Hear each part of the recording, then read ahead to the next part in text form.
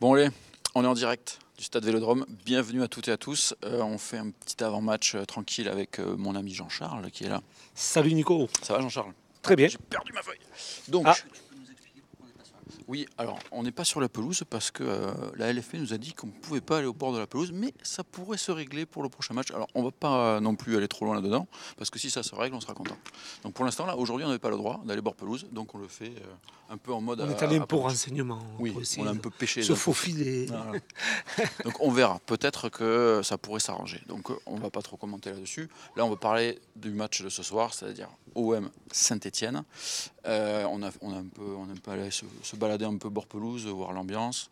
On a vu notre ami euh, Wabi Kazri, qui est comme Dimitri Payet, il mange bien. hein, Wabi? En Ouais, il était, en fait, les, graines de couscous ne sont pas évacuées. hein.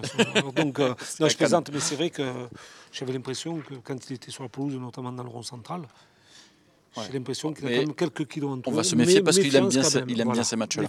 Alors la grosse info du moment, c'est quand même Luis Gustavo qui est pas sur la feuille de match. Et oui, mais euh, Luis Gustavo, il a pris l'avion.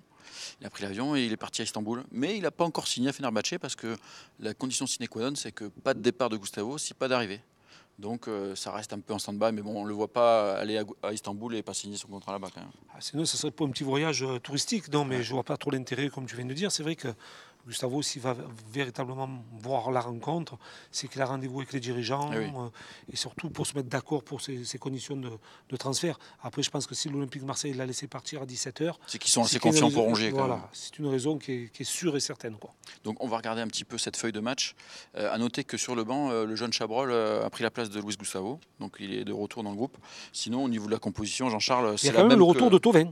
Il y a le retour de Tovin sur le banc, le effectivement, banc qui est, touche, qui est qui pas suffisamment fit pour démarrer la rencontre. Mais sinon, au niveau du 11, c'est le même qui allait gagner à Nice. Exactement, c'est un 4-3-3 qui va se présenter ce soir face à la Saint-Etienne. Alors donc, euh, on a la même compo. Bon, après une victoire, c'est rare aussi qu'on change. Oui. S'il n'y a pas de blessés, bon, il est dans la continuité, je dirais, Villas-Boas. C'est peut-être une bonne chose aussi. euh, Des essayer de trouver automatismes. des automatismes, des, des conditions de jeu, maintenant retrouver le vélodrome et essayer de gagner ces trois points ici face à Saint-Etienne.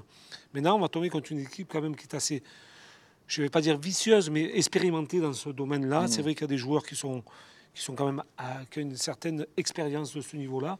Donc méfiance, parce que c'est vrai que quand on joue au vélodrome, on a toujours tendance, nous, à, à déjouer un petit peu. Mhm. Notamment, on avait vu ça contre, contre Reims. Alors espérons que ce soir, l'Olympique de Marseille retrouve toutes ses vertus. Surtout qu'avec une victoire, euh, on reviendra à égalité de points de, de Lyon, on se replacerait bien à deux points de la tête. Donc c'est un match intéressant. Je vais faire vite fait la compo.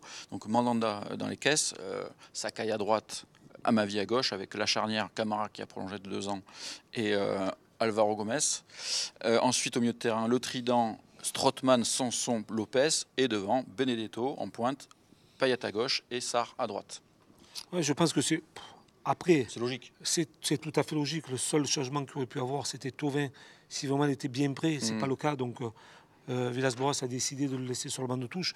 Il fera certainement son apparition au cours de rencontre, ce que je pense, parce que bon, il va quand même un petit peu aussi retoucher le ballon, retrouver des sensations. Il a besoin aussi Surtout de tout ça, surtout au Vélodrome. Et puis bon, on a besoin de Florian Tovin. Mhm. Euh, il a été blessé pendant sept semaines. Euh, Son retour va nous faire que du bien.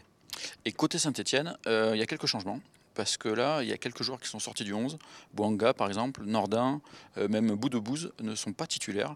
Euh, le coach euh, Printemps a décidé donc d'aligner Ruffier dans les, caisses. Une défense à 3, Moukoudi, Perrin, Debuchy, avec deux latéraux, donc Trauco, Palencia. Milieu de terrain, Mvila, Awolu. Et devant, il y, a un- il y a un trio, c'est Kazri, Amouma et le retour de Beric en pointe.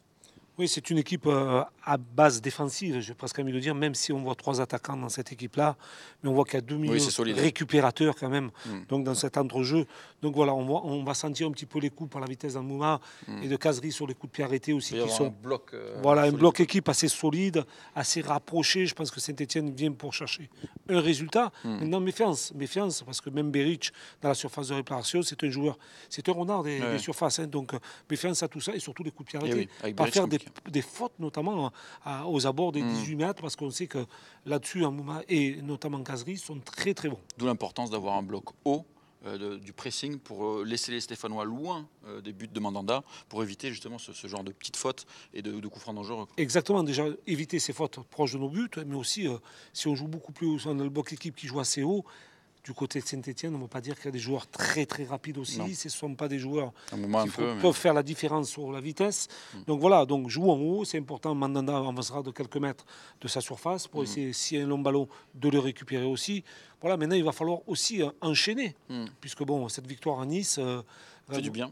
fait du bien, mais surtout euh, donne de la confiance et ça permettra aussi, aussi de- au Vélodrome, à tous ses supporters, de voir l'Olympique Marseille glaner ces trois points ici. Et puis là, on veut, on veut du jeu, on veut que le, le stade s'enflamme. C'est un peu la fête ce soir.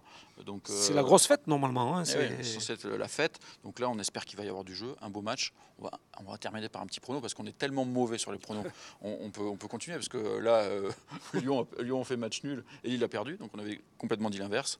Donc là, moi, je vais quand même encore jouer la victoire de l'OM. J'ai envie de, de- de croire enfin une saison lancée. Et je, je vais jouer le 2-0 pour l'OM.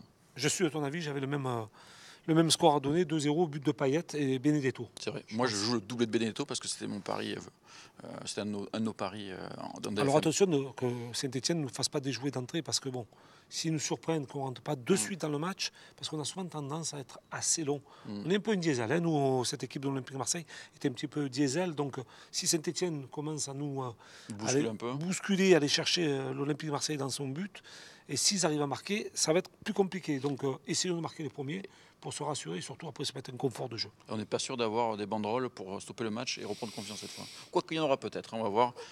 C'est un peu pas, la mode. On, on a vu qu'il y a un pas. concours de banderoles. J'espère qu'elles seront aussi intelligentes et marrantes qu'on a vu sur certains stades.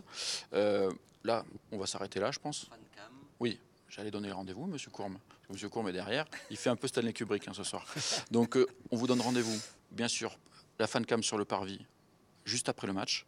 Et on vous donne aussi rendez-vous ici, même endroit, avec euh, les nouveaux maillots. hein. ils auront fait la déco euh, pour l'après-match, à peu près une heure après euh, la, la fin, la fin de la rencontre. Donc deux rendez-vous, la fan cam sur le parvis et l'après-match ici. Et Mourad nous fera aussi la conf de presse d'après-match en direct sur Twitter. Et surtout, n'oubliez pas demain, hein, Oui. la superbe émission avec Alain Perrin. Demain, Alain Perrin, DFM, rendez-vous à 17h30 sur Football Club de Marseille et sur bien sûr YouTube. Allez, à tout à l'heure.